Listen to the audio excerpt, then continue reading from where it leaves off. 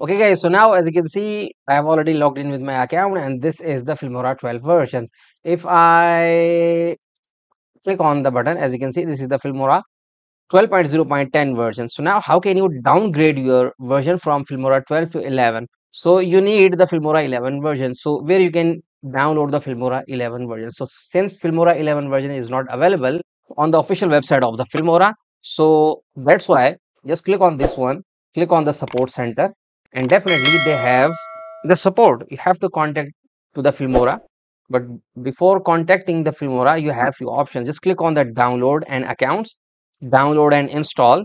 And here you have some kind of how can I download an older version. So now as you can see, this is how can I download. Just click on this one. They will give you the link. Just click on the link.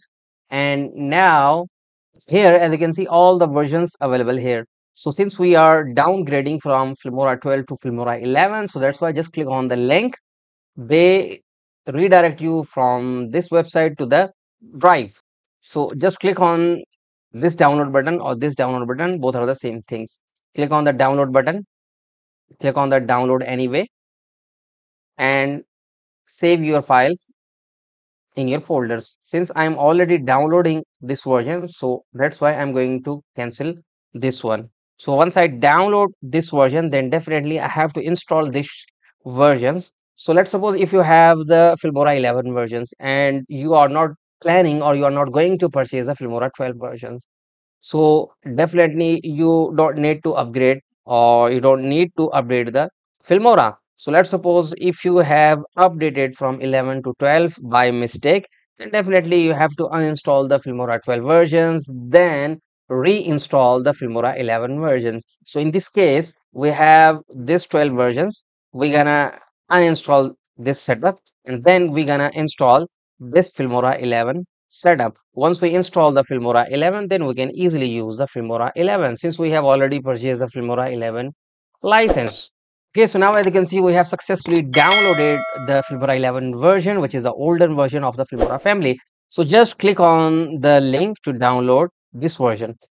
Okay guys so now as you can see this is the filmora 11 version. I have just clicked the filmora 11 version which we have just downloaded. Just click on the next button. I have agree. And you can also select where you are going to install the filmora. So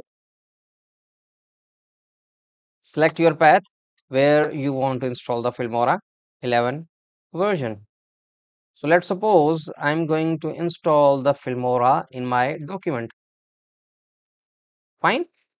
So as you can see user and username document wondershare filmora. Click on the next button to install the filmora 11 in the same directory which you you have just specified. So wait for a few seconds. Once the system download all the necessary files uh, from the server or the system install all the necessary files in your pc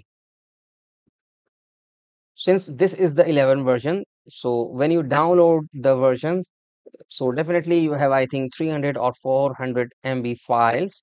And if you are downloading the filmora 12 versions the only size of the filmora i think is uh, 1 mb to 10 mb so once you double click on the filmora 12 version or the package then the system download all the necessary files from the server. Wow. So we have successfully downloaded the filmora 11 version. So just click on the launch button to launch the filmora. So now the system testing the environment. Okay. We click on the create a okay. So now if you go to the help click on the about so as you can see this is the filmora 11.8.0 version. So now if i log in with my account i'm going to log in with my google account. Now i have logged in. Boom. I have the unlimited access. So this is the filmora 11 so i have both the license filmora 11 and also the filmora 12 once again about so as you can see filmora 11 now if you want to update the filmora. So just go to the help and click on the check for updates. Now the system checking the updates for you. Since they have already released the filmora 12 versions then definitely system give you the updates options. Okay now as you can see they are saying this is the Filmora 12 versions 12.0.9 and now note for users who are currently one time purchasing plan of Filmora you may be charged for extra fee for upgrading to the Filmora 12 version. So if you are planning or giving to the extra amount then you can update the version. Otherwise do not update your Filmora 11 package